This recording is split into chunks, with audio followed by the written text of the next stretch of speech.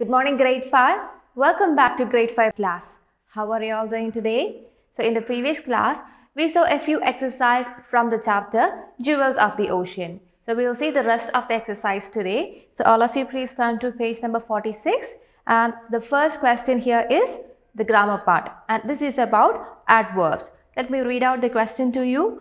Read these sentences using the adverbs given in the brackets in the correct places. So before moving on to the answers, let's revise what adverbs are and what are the types. So what is an adverb? We have already learned in our English reader that adverbs are words that tell us more about the verbs or the action. And there are different types of adverbs. There are adverbs of place, adverbs of manner, adverbs of time, adverbs of degree and adverbs of frequency. So what are adverbs of place? Adverbs of place tell us where the verb or where the action is taking place. So an adverb of place answers the question where, where the action is taking place. And adverbs of manner tell us the manner in which the action is done. And it answers the question how, how the action or how the verb is done. Now, the adverbs of time. Adverbs of time tell us the time at which the action is happening. So, it answers the question when. And adverbs of degree tell us to what degree or to what extent the verb or action is happening. So, it answers the question to what degree. Now, adverbs of frequency. These kind of adverbs tell us how often someone does something or how long something lasts. Now, we have already learned all these in our English reader. So, let's move on to the question. So, the first sentence here is the shops in the village open early and there is a verb given in the bracket usually. You have to use the word, use the adverb usually in the correct place in this sentence, in the given sentence and rewrite it. The first sentence can be rewritten as the shops in the village usually open early. Similarly, you have to rewrite the rest of the sentences from the question as an activity now. Please pause this video, finish rewriting the sentences and come back. Hope you are done with that activity. Now let's see the correct answers. The first one we have already discussed in the class. The shops in the village usually open early. The second question, the school bus comes on time. And the adverb given there is always, which is an adverb of frequency. Now, the uh, sentence can be rewritten as the school bus always comes on time. Now the next one, I have finished my work. Almost is the adverb given in bracket. So it can be rewritten as I have almost finished my work. Now let's see the fourth question. Shobha misses her dance classes and the adverb given is never. So it can be rewritten as Shobha never misses her dance classes. Now the fifth one, he comes over to my house to study.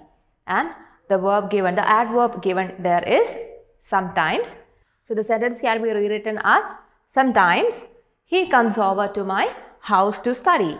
See here the adverb sometimes which is an adverb of frequency is given in the beginning of the sentence. So you can call that as an introductory adverb and you always follow an introductory adverb with a comma.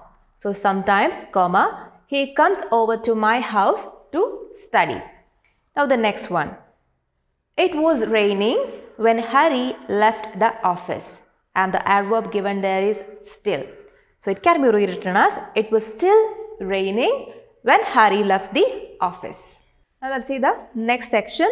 Section B, underline the adverbs in these sentences and identify their types. Manner, place, time, degree and frequency. Let's see the answers. The first sentence, I will see you later in my office. So, which is the adverb here? The word later is the adverb here and it is the adverb of time. Now, the second one, have you seen my library book anywhere? So, which is the adverb here? Anywhere. So, that is an adverb of place. Now, the third one, I regularly go for a walk in the morning. The, the, the word regularly is an adverb of frequency So you can underline that one and write F for frequency in the space provided.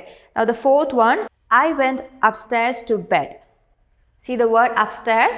That is an adverb which shows the place. So it's an adverb of place. So you can underline the word upstairs and write P for place there. Fifth one, the weavers wove the garment skillfully.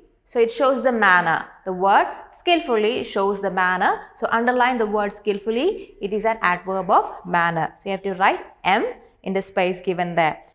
Now the sixth one, she rarely gets up early on a Sunday. So it shows the time. Early on a Sunday shows the time. So that is an adverb of time.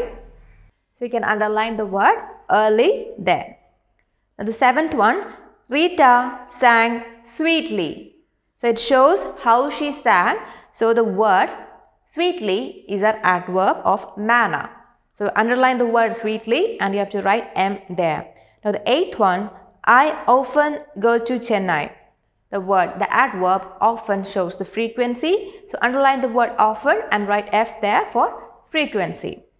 Now let's move on to the next section. It is the listening exercise. Here, listen to some clues about the movement of different animals and identify their names. So here I'm going to read out some clues to you which represent the movement of different animals and from the clues, you have to identify which animal it is and write it in the space provided there.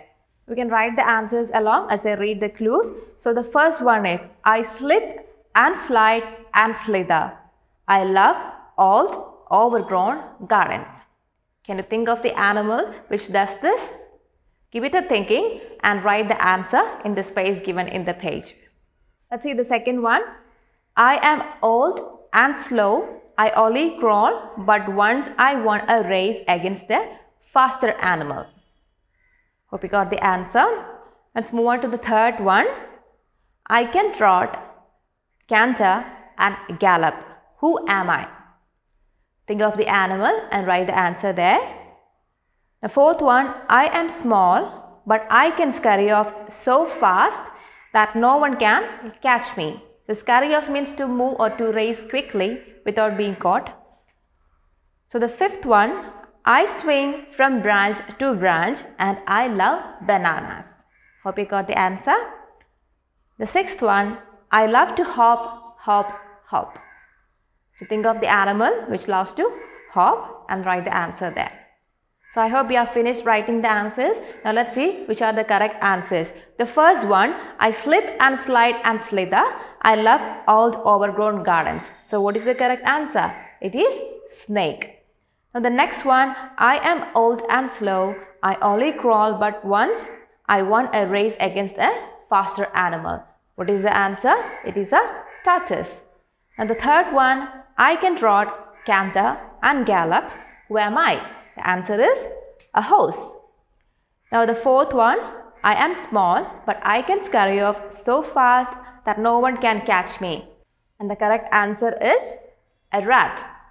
Now fifth one, I swing from branch to branch and I love bananas. What is the correct answer?